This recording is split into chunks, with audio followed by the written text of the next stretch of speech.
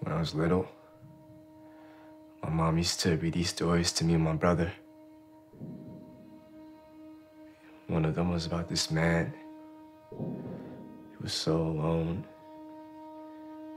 so angry that uh, he turned himself into a monster. It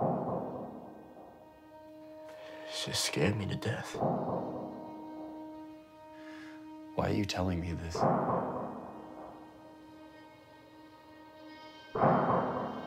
I don't want to be like him.